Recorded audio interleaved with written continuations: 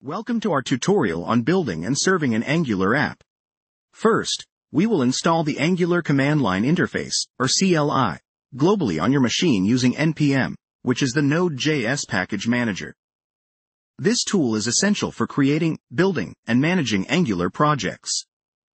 Next, we create a new Angular project with the command ng new followed by the name of our app, My Angular App.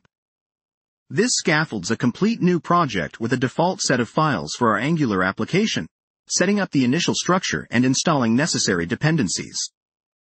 Once the project is created, we need to change our directory to the newly created application folder. This will allow us to run further Angular CLI commands within the context of our specific project. For local development, we'll serve our app using ng serve. This command compiles the app and launches a web server. It also watches our files for changes, and when a change is detected, the app is recompiled and the page is reloaded in the browser, providing a smooth development experience. When we're ready to deploy our application to production, we use ng build with the prod flag. This triggers the production build process, optimizing our app for performance. Angular does this by enabling ahead of time compilation, tree shaking, and minifying our code to reduce the size and improve the runtime efficiency. After the production build finishes, the application is compiled into static files in the dist directory.